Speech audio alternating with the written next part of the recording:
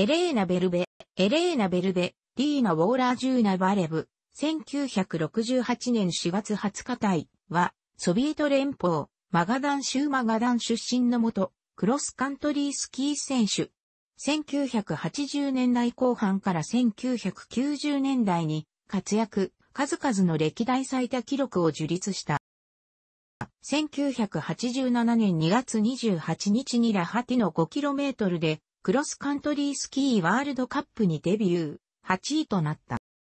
1988から1989シーズンから本格的に。国際大会に参戦。1988年12月14日に 15km でワールドカップ初勝利を挙げ、1989年、ノルディックスキー世界選手権では 10km フリー走法と 30km で金メダル、リレーでは銀メダルと計3個のメダルを獲得した。ワールドカップでは5勝を挙げて総合優勝。翌1989から1990シーズンはラリーサラズチナに次いで総合2位。1991年、ノルディックスキー世界選手権では 10km と 15km リレーの3種目で金メダルを獲得、30km では銀メダルを獲得、ワールドカップでは8勝を挙げて自身2度目の総合優勝を達成した。自身初のオリンピックとなった1992年のアルベールビルオリンピックではリレーで金メダル、個人4種目すべてで銅メダル獲得と活躍した。このシーズンのワールドカップでも2年連続3度目の総合優勝を果たした。1992年のホルメン高連メダルを獲得。1993年、ノルディックスキー世界選手権では 15km とリレーで金メダルを獲得、ワールドカップ総合では2位。1994年のリレハンメルオリンピックでは、個人種目は6位入賞が最高だったがリレーで2大会連続の金メダルを獲得。このシーズンのワールドカップ総合は3位だった。1995年、ノルディックスキー世界選手権ではリレーと 30km で金メダル獲得、15km で銀メダルを獲得した。1994から1995シーズンのワールドカップでは通算4度目の総合優勝。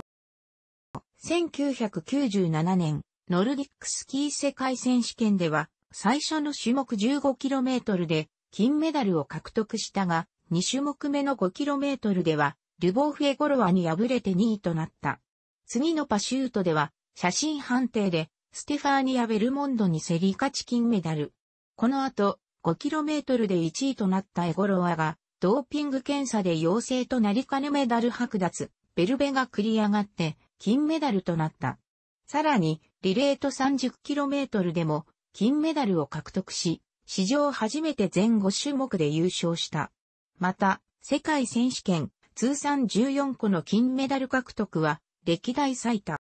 ワールドカップでは、通算40勝に到達、シーズン終了時44勝4、5度目の総合優勝を達成した。1998年の長野オリンピックではリレーで3大会連続の金メダルを獲得。このシーズン限りで現役を引退した。現役引退後は2004年から2006年までロシアスキー連盟の副会長を務めるとともに2006年トリノオリンピックではロシアクロスカントリースキーチームの監督を務めた。2010年6月にロシアスキー連盟会長に選出された。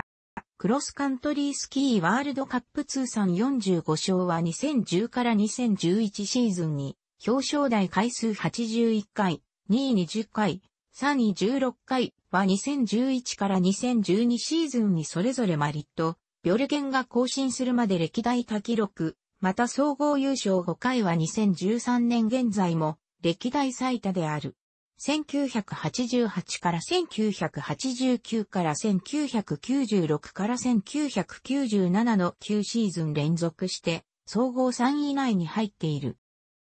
楽しくご覧になりましたら購読と良いです。クリックしてください。